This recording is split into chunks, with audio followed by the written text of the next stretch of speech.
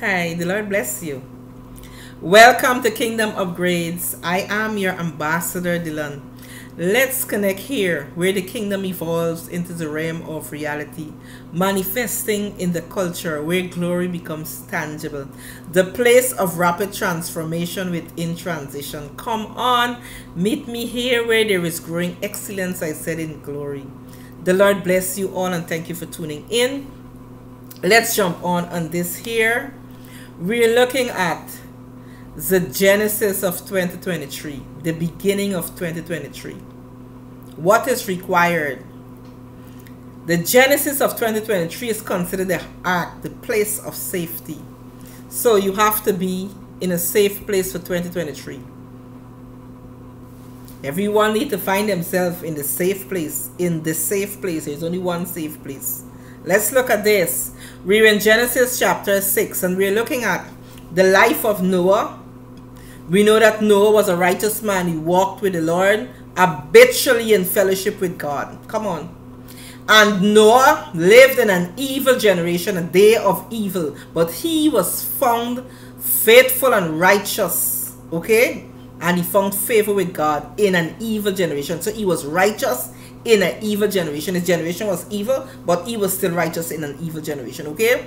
And as a result of that, God told him what he was about to do. Okay? And God gave him the instructions to build an ark of gopher wood. Let's look at verse 13 of Genesis chapter 6. I'm just going to read uh, two verses. God said to Noah, I intend to make an end of all that lives. For through men the land is filled with violence, and behold, I am about to destroy them together with the land. That was all because the generation was evil, okay? And it was in a state of decay morally, you know, and spiritually. So God told Noah what he was going to do, and he gave Noah instructions to build an ark.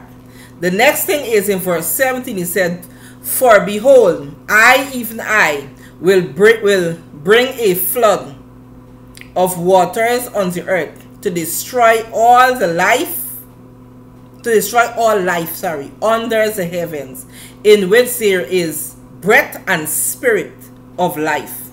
Everything that is on the land shall die verse 18 but i will establish my covenant my solemn promise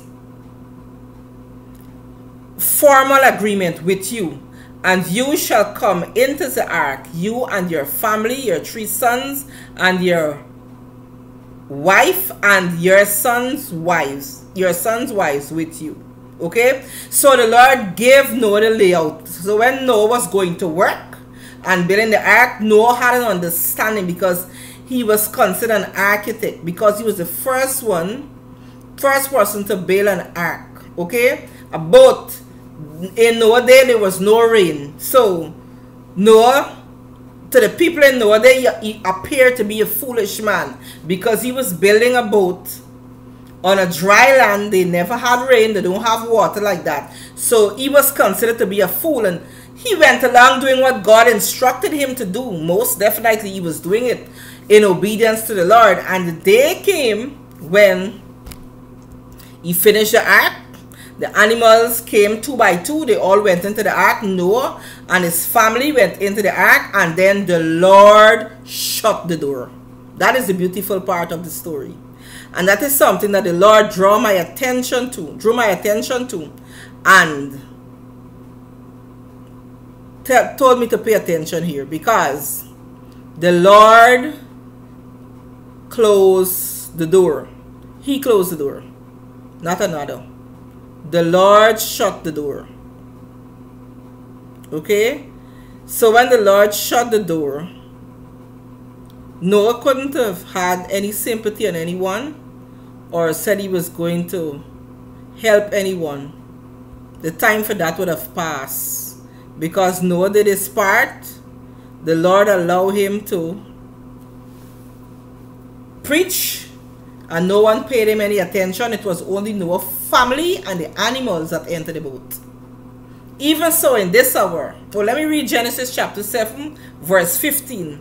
Here it is. So then when so they, so they went, sorry, they went into the ark with Noah, two by two, all living beings in which there was the, was a breath of life.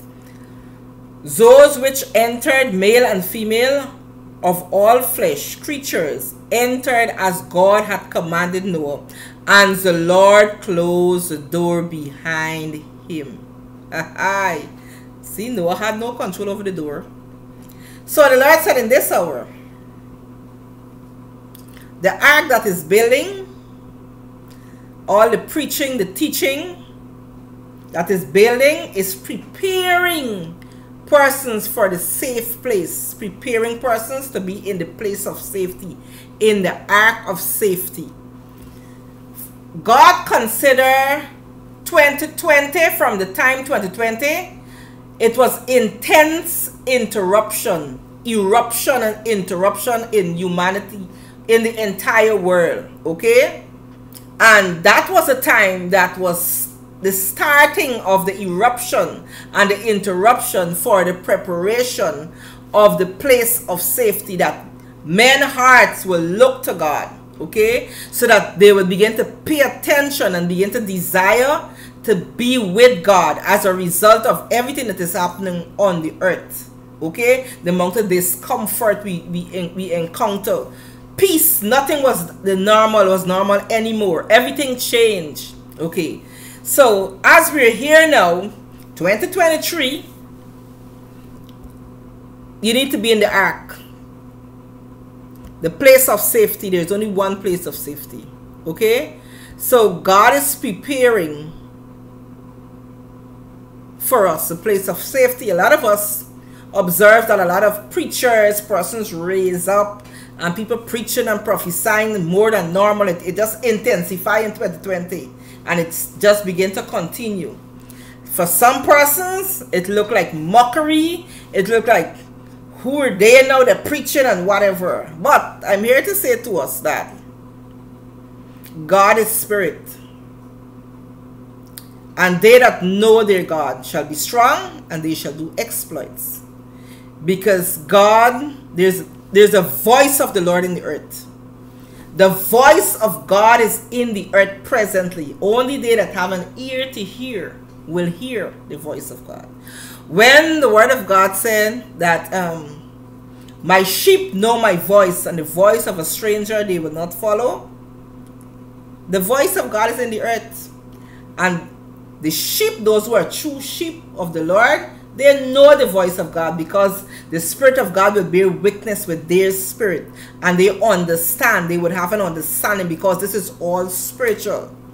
So, in all of this, I'm saying to us now that the place of safety is being prepared. And 2023, you need to be in the ark if you're not there. And that is considered a place of intimacy where you establish your prayer altar and your prayer life in God and you're intimate with God that you would able to understand when the spirit is moving, when persons are speaking, if they're speaking of the Lord or they're not speaking of the Lord or if they're, they're false. Listen to me. You don't have to be afraid of who might be false. If you're intimate with God, the Spirit of God will bear witness with your spirit telling you that this is my voice. There is no need for us to be afraid. Our place is to become intimate with God, is to draw nigh to God, spend time in the presence of God, and get familiar with Him and His voice. Okay? So that we will know that there will be a witness with our spirit, witness in it. There will be a witness you would know when this is of God or it's not of God. So the ark is considered a place of safety in this hour. All those who have been preparing themselves, they are those who are mothers and father in the faith. They have been preparing the place of safety. And those who were following and paying attention to what they were doing and saying based on the instructions of the Lord, they will all be in the ark because it was an ark that God was building. a place of safety, that they were running with the instructions of the Lord. Likewise, those who were in the ark and they were praying for their family and their loved ones, they will be preserved and be safe because the Lord looketh for a man, seeketh for a man to stand in the gap, okay? To build up the edges.